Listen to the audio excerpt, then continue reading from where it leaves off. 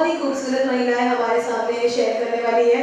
और फर्स्टली मैं रिक्वेस्ट करूँगी मिस उषा सोनी जो बंसवाड़ा कागज़ में काम करती है वो आगे आए और uh, अपना अनुभव शेयर करें हम सबके साथ कि वेमेन इन फैक्ट्रीज का।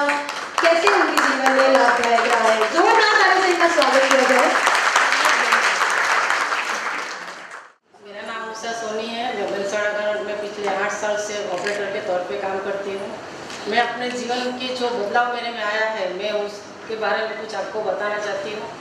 जब ये प्रोग्राम जब हमारे कंपनी में एक साल पहले जब चालू हुआ तो उसमें बस्ती का जब हमारा नाम आया ट्रेनिंग में तो मैंने अपना नाम उसमें से हटा दिया। मैंने वो सोचा कि इसमें जाके क्या सीखना है?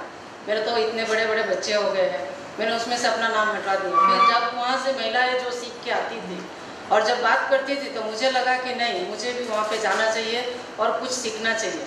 तो जब मैं वहाँ पे गई तो मुझे बहुत कुछ जानकारी मिला। दस दिन की जो हमको ट्रेनिंग मिली, वहाँ पे मुझे बहुत कुछ जानने को मिला। जैसे कि परिवार में सबको मिल के काम करना चाहिए, सबको अच्छे से बात करना चाहिए, कैसे किसके साथ बात करना चाहिए, वो बहुत कुछ जानकारी मुझे मिला। तो मैं, मुझे अस्थमा का प्रॉब्लम था।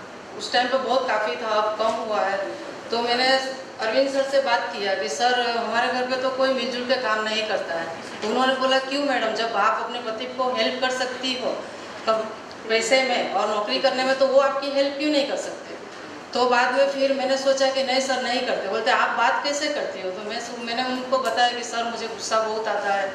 और मैं सबसे कुछ, जो मैं बोलती हूँ वो सही है, जो सामने वाला बोलता है, वो सब गलत है। तो उन्होंने बोला कि, जब आप ही सही नहीं हो तो सामने वाला सही कैसे रहेगा? जब आप अपने में बदलाव लाओगे, तब आपका घर पे सब लोग आपको हेल्प करेंगे। आप अच्छे से आपसे बात कीजिए कि मुझे ऐसी बीमारी है तो मैं जब आपको हेल्प कर सकती हूँ तो आप मुझे क्यों नहीं हेल्प कर सकते?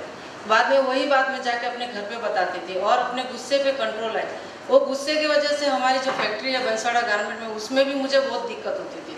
मैं किसी का बात ही नहीं सुनती थी। जो मैं बोलती हूँ, वही सही है और जो सामने वाला बोलता है, वो गलत है। उसकी वजह से मुझे बहुत दिक्कत होती है और बाद में मुझे पछतावा भी होता था।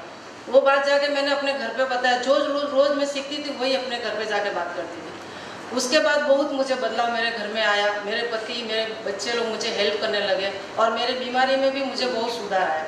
आज मेरी छुट्टी जो बहुत होती थी बीमारी की वजह से, वो छुट्टी मेरी कम हो गई और मेरे गुस्से पे भी मुझे कंट्रोल हो गया। उसके बाद मुझे 45 दिन का मौका वापस ट्रेनिंग का मिला। तो मुझे बहुत खुशी हुआ कि 10 दिन की ट्रेनिंग में मुझे इतना सब कुछ सीखने को मिला है, बदलाव मेरे घर में आया है फैक्ट्री में आया है तो मुझे और कुछ सीखने को मिलेगा। उसी दौरान मेरे लड़के का पढ़ाई ख़त्म हुआ और उसको दुबई जाने का मौका मिला। तो मैं उस टाइम पे सोचती थी कि मेरा लड़का इतना दूर देश में कैसे उसको भेजूँगी? और उसके वजह से मैं एकदम नर्वस रहती थी और बात नहीं करती थी। तो हमारी जो अर्पिता मैडम है उन्होंने पूछा, मैडम, क्या हुआ? तो मैंने सब बात उनको बताया। तब उन्होंने बताया कि, नहीं मैडम, आपको अपने लड़के को भेजना चाहिए। उसको आगे बढ़ने का मौका दीजिए। आप उसको आगे नहीं बढ़ने देंगे तो वो उसका भविष्य आप खराब कर रही हैं। और उसके साथ साथ आप अपना भी भविष्य खराब कर रही है तो बाद में मैंने वो सब बातें सुन के, समझ के मैंने फिर अपने घर पे जाके बात किया। आज मेरा लड़का दुबई में है और अच्छी पोस्ट पे है तो मैं अपनी कंपनी का, बंसवाड़ा गारमेंट का थैंक यू बोलना चाहती हूँ और अर्पिता मैडम का का थैंक यू बोलना चाहती हूँ अपना सर का थैंक यू बोलना चाहती हूँ। और एक बात मैं और बोलना चाहती हूँ कि काश कुछ साल पहले मुझे ये ट्रेनिंग मिली होती तो मैं अपनी लड़की का अठारह साल पहले उसकी उम्र में शादी नहीं करती। और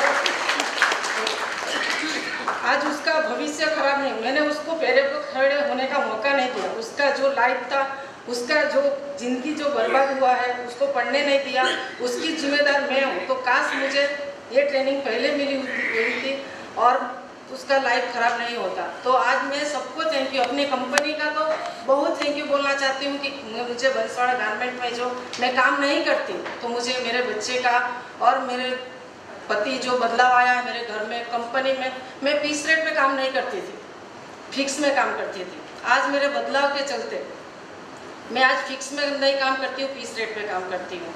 और मेरी अच्छी तनख्वाह है और जब मैंने फिक्स में जो काम करती थी पीस रेट पे जाकर जब हमारे वीरन सर से मैंने बात किया तो वो बहुत खुश हो गए कि इतने सालों से जो फिक्स में काम करती है, वो आज पीस रेट पे काम करने के लिए तैयार हो गई, वो बहुत खुश है। और जब हमारे फ्लोर पे वो जब सुबह आते हैं और मेरे बदलाव से, मेरे स्वभाव की वजह से, आज सुबह जब वो आते हैं, कभी भी आते हैं तो मुझे बोलते हैं, उषा बेन सोनी, केम छो?